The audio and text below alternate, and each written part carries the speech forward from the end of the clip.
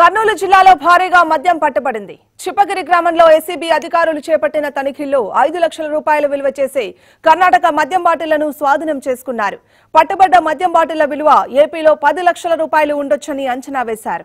ఎన్నికల వేళ ఇంత పెద్ద మొత్తంలో మద్యం దొరకడం తీవ్ర చర్చనీయాంశంగా మారింది.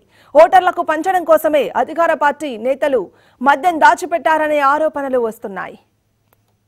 కమాండ్ కంట్రోల్ రూమ్ నుంచి వచ్చిన ఇన్ఫర్మేషన్ లోకల్ ఆలూరు వాళ్ళు ఇచ్చిన ఇన్ఫర్మేషన్ ప్రకారము చిప్పగిరి మండలము చిప్పగిరి గ్రామంలో ఈ బోయ బోయ బోయ పెద్దన్న కలంలో చెక్ చేయగా గడ్డివాంలో నూట ముప్పై గడ్డివాంలో మొత్తం నూట ముప్పై ఎనిమిది బాక్సులు కర్ణాటక లిక్కర్ స్టోర్ చేసి ఉన్నారు.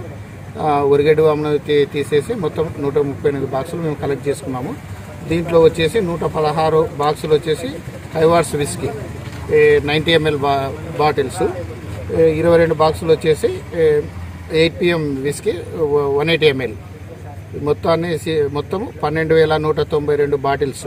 దీని విలువ కర్ణాటకలో ఐదు లక్షలు ఉంటుంది. మన ఆంధ్రాలో దాదాపుగా పది పన్నెండు లక్షలు మన ఆంధ్రాలో ఉంటుంది ఉంటుంది. ఈ మొత్తం ప్రాపర్టీని ఆలూరు సబ్ స్టేషన్కి హ్యాండెడ్ ఓవర్ చేసినాము.